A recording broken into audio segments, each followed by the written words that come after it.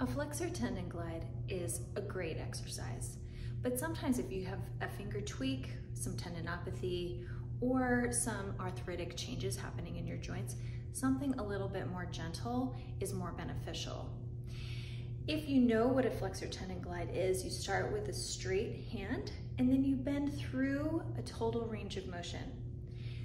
I call this the limp handshake version of a tendon glide because it is a shorter range of motion or a smaller range of motion. So say this is 100%. We're gonna go at about 50% of your total range of motion. So already we're just gonna start with a soft hand. From there, you just bend those joints at about 50% of their range of motion and it's very gentle. It can be done at any point in time. It can be done mid-route while you're driving at any point in time, joints, tendons, love this. It's extremely gentle.